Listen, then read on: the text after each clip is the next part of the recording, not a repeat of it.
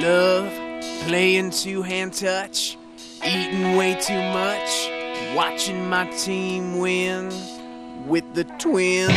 I love quarterbacks eating dirt, pom poms and short skirts,